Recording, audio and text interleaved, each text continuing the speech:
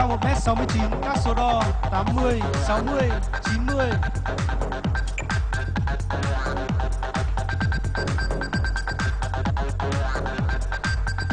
Thí sinh Trần Thị Kiều Ngân, cao 1m72, các số đo 83, 62, 92.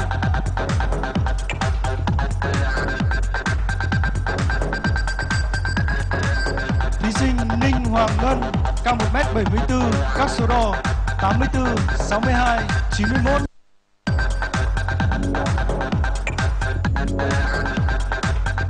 Thí sinh Lý Pháp Việt Ngân, cao 1m73, các số đo 85, 61, 91.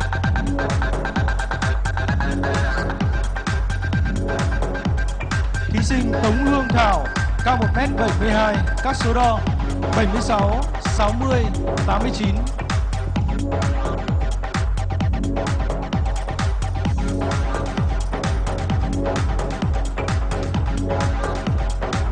Nguyễn Thị Minh Thu, cao 1m69, các số đo 84, 61, 90.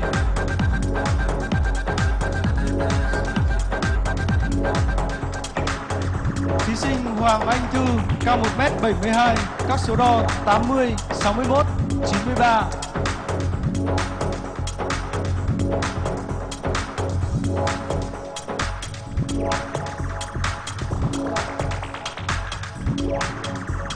Thí sinh Nguyễn Thúy Thư, cao 1m68, các số đo 81, 60, 86.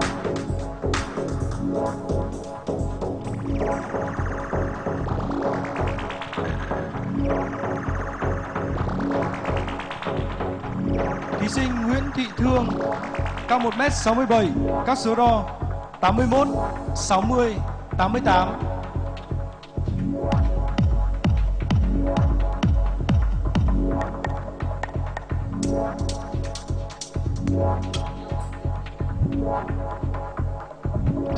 Nguyễn Thị Thanh Thủy, cao 1m67, các số đo 83, 59, 90.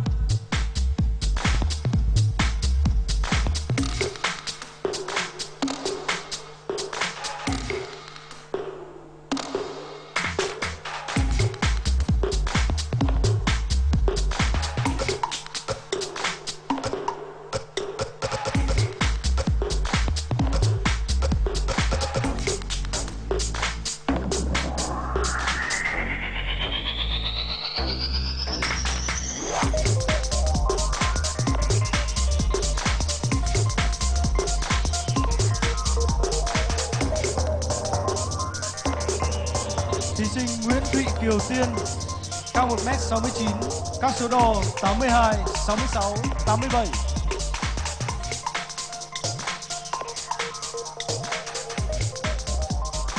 Thí sinh Trần Ngọc Trâm, cao 1m69, các số đo 83, 62, 90. Thí sinh Lý Bảo Trân, cao 1m68, các số đo 83, 64, 94.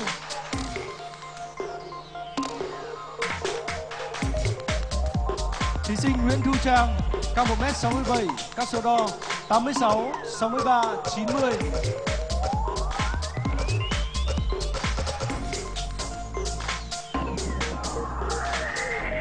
Thí sinh Tôn Diệp Nhật Trang, cao 1m63, các số đo 76, 61, 88.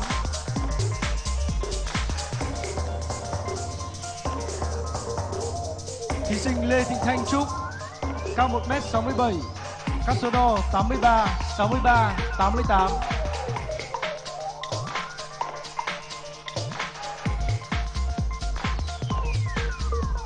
Thí sinh Nguyễn Cẩm Tú, cao 1m66, các số đo 83, 62, 91.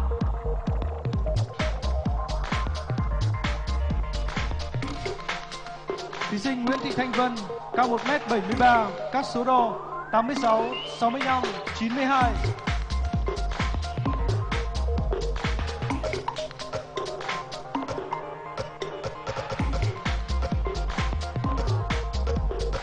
Thí sinh Phạm Thúy Vi Victoria, cao 1m71 với các số đo 83, 60, 88.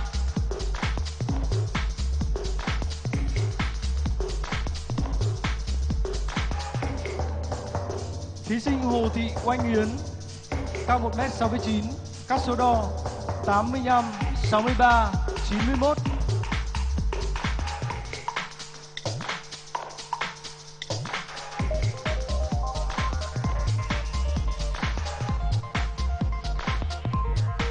Chúng ta hãy cùng vỗ tay thật lớn để cảm ơn ban trình diễn áo tắm của 40 thí sinh đến chung kết Hoa hậu Thế giới người Việt 2020.